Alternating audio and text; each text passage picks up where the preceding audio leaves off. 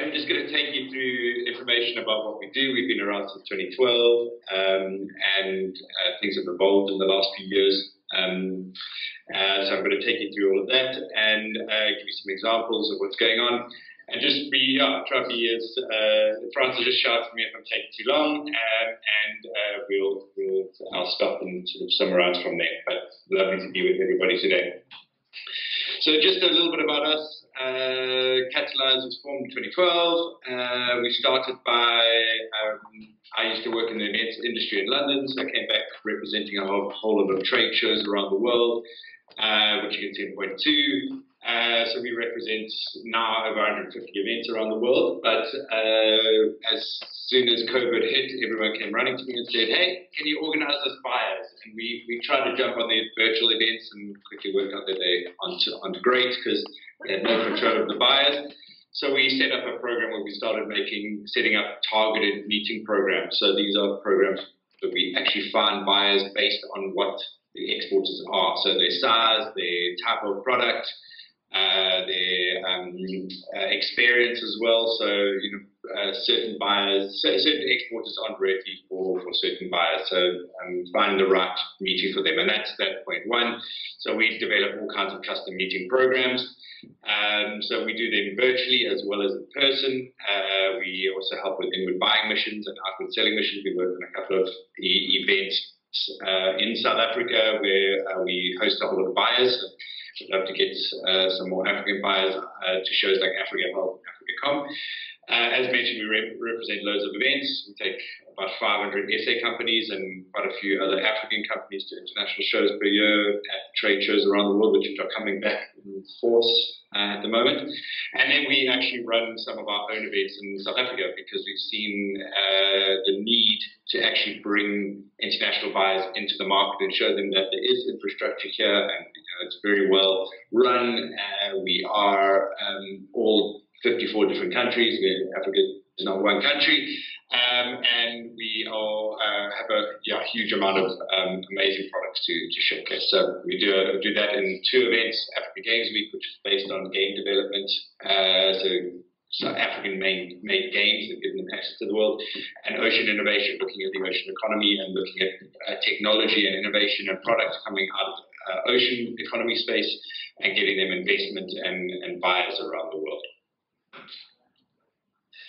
So, I'm going to be speaking today about different ways of getting in contact and how we do things. So maybe it, can resonate with you guys and, and give you some ideas. So, uh, key with communicating with buyers, uh, it's simple. You see that talk to the buyers. Uh, they don't want emails.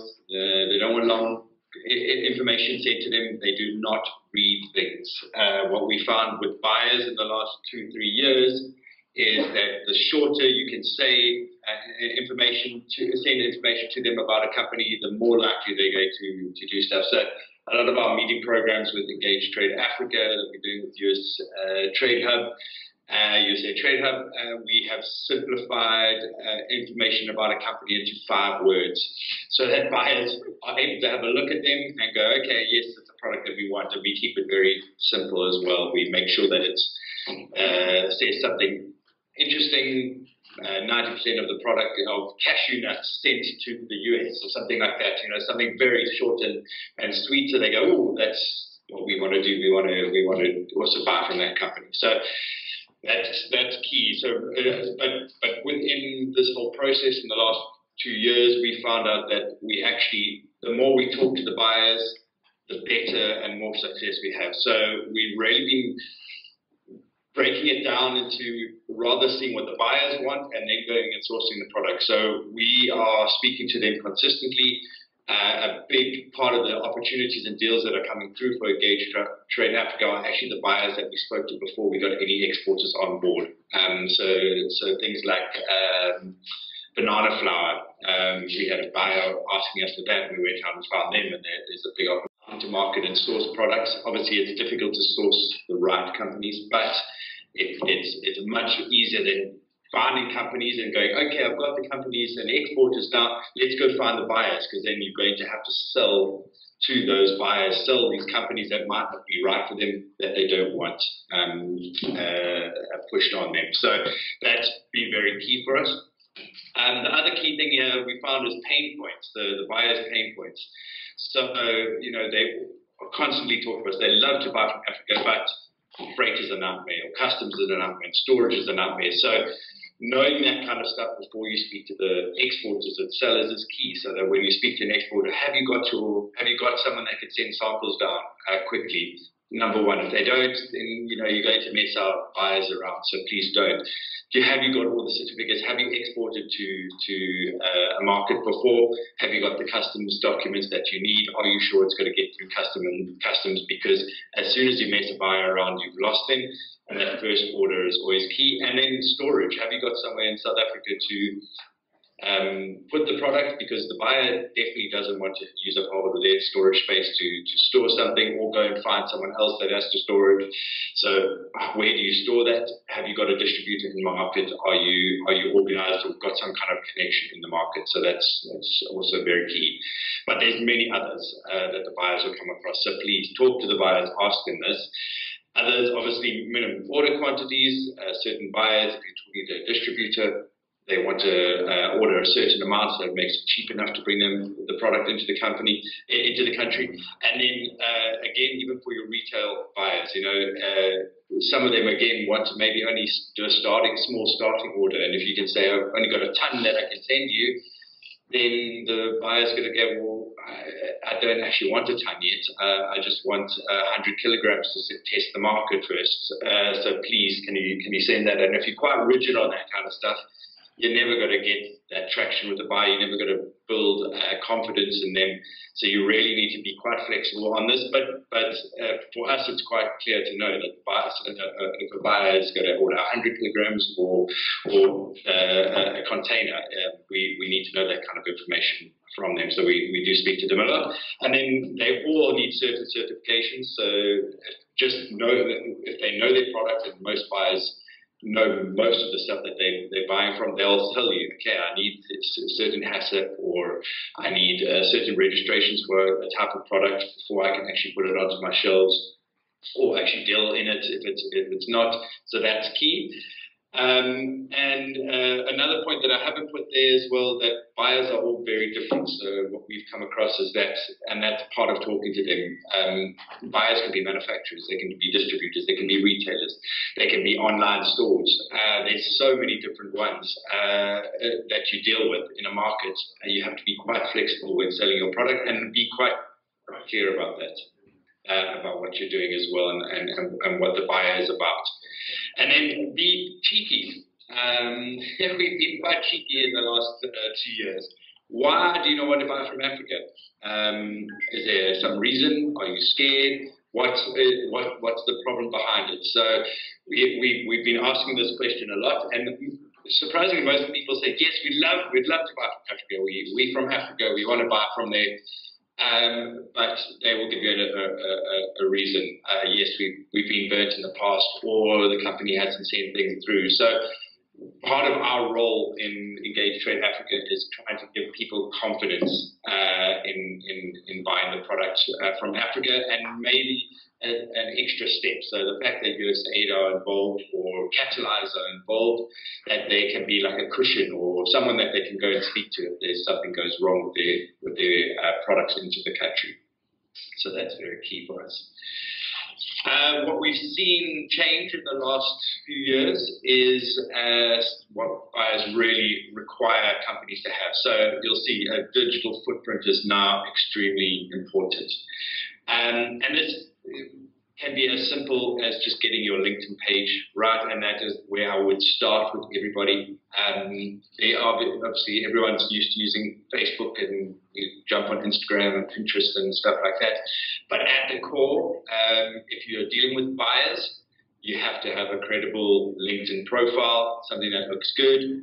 Uh, we give people advice on it all the time. I remember uh, a Botswanan company um, sell, great, but how, and I, saw it happen again yesterday. How do we, how do I get in touch with you? Because I didn't actually have a personal profile. So uh, he replied and he sorted that out and then started getting inquiries through there. But it's very important that you get something like LinkedIn uh, down. A lot of the international buyers uh, are going onto that, verifying that you are a real person, that you have a real product, that you're part of the company.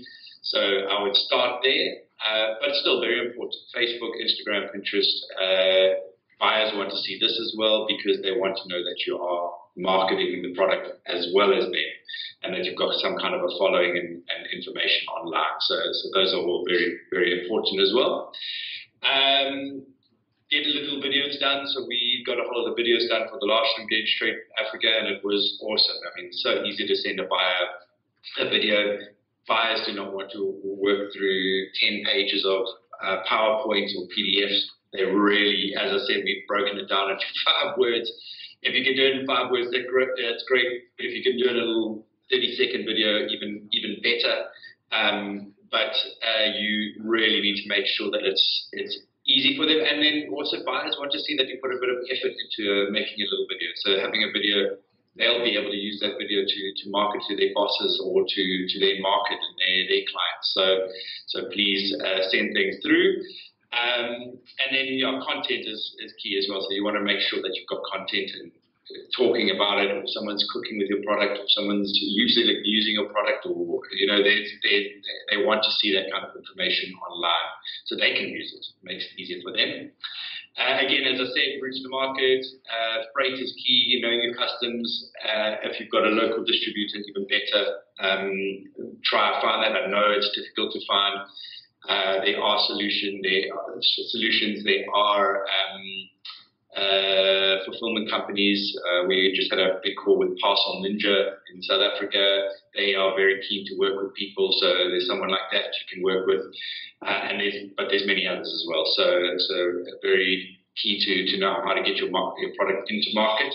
And the, the key with local distribution with and a lot of people have come to us and said, "Can we work with a retailer?" And I've said, "Well, you know, retailers expect you to have someone that they can send the product back to. So if you do not have a local distributor, forget about working with a retailer at this stage.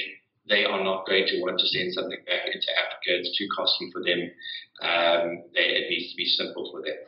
And then, as I mentioned, certification is key. So get your certification correct make sure it is, is recognized. Um, big problem that we've had in this is people said, oh, we, you know, we've um, uh, registered by the local um, uh, uh, organic association. That means nothing to uh, international buyer. They want to be recognized by a, a, company that's recognized all over the world. So they will not take a, a certificate, certificate, certificate from a, a country-based uh, and only single country-based um, certification body. It needs to be internationally accredited. Uh, and make sure things are readily available. Make sure your certifications are ready, readily, readily available, your company documents are available, and, and get this through to people very quickly. Uh, that's what people want to see, and that's been a big blockage in our process as well. People not responding, sending information very quickly. Buyers have a very short attention span. Uh, pretty much got a few minutes. Uh, if you don't uh, get back to them in those few minutes, they forget and they've got 5,000 other products that, that, they're working with. So it has to be very quick, has to be uh, con- uh, continuous as well. Opportunities at the moment, uh, we've gone into a lot of food products. There's a lot of that. Within food products, it seems to be ingredients and raw materials still. Finished products are still quite difficult to get into to new markets but there's a huge demand for ingredients and materials. Very difficult to get certain things from other parts of the world at the moment. South Africa is the main example. We get loads of our herbs and spices from all over Vietnam and uh, Southeast Asia. Getting freight is a nightmare. The price of containers has increased by threefold. Uh, so there's a huge opportunity in that space at the moment. So, um, and then with the change in world markets as well, issues in, in Russia, Ukraine. There's a huge amount of stuff that can't come out of there anymore. So there is opportunity in that space, meat and, and various other things. Uh, cosmetic oils. Uh, we've seen we we tried cosmetics last year. We realized cosmetics are very difficult to get into a country, but cosmetic ingredients are cosmetic companies and around the world that are looking for something different. They African herbs and flora, amazing very different people around the world and in South Africa want to put these in. So there's been some great uh, different uh, herbs that have come out on our projects lately. And then you'll see African culture as well. So doing something that's done in Africa that's not done in any, any part of the world, you know, um, is is quite interesting. The internationals are really enjoying that, and it's got a great story behind it. It's marketed very well, so, so that kind of stuff. And then lots of other. So quality products manufactured in, in Africa. We're dealing with the bulb world at the moment. They manufacture light bulbs in Botswana. An amazing story, and they, we've got some amazing opportunities for them. Uh, a year ago, you couldn't get any light bulbs um, because there was no freight coming out of China. It's changed again, but that opportunity has definitely uh, opened up, and getting products from Africa is very exciting and, and interesting on, on, on buyers. Uh, just be aware, size of product is key with exports. Uh, the smaller your product, the much easier and uh, more attractive the product is. Bulky products always have to be kind of local, so you know when you have to think of the idea of sending air to people, water to people. Uh, a lot of there's a lot of companies making beer at the moment in South Africa and, and in other parts. But when you try exporting, that you realize that you're actually just exporting water. So rather export the ingredient and get someone to bottle for you in the market. So just think of that uh, quite carefully when when you're sending stuff um, to different markets. And then just to sort of round up what we do again uh, and how we'd like Namibia to get more involved, we are doing targeted meeting programs. Uh, I've got two minutes left. I'm going to finish quickly, uh, where we set up those meetings for you. Uh, we're doing these for various people at the moment. It's part of what we're doing with Engage Trade Africa. It's specific to buyer facilitated meetings, notated meetings. You get meeting reports. Very different to a trade show because it's direct to market, but you're probably meeting five to ten buyers. Um, we do all the different international trade events, and we lead delegations uh, all year, year round, and that's been our bread and butter since 2012. We're still able to help with that. We do major trade shows around the world, um, and all kinds, from South America through to America, through to, to the Russias, Asias, Middle East, uh, even Australia. We do stuff, so we help you with that.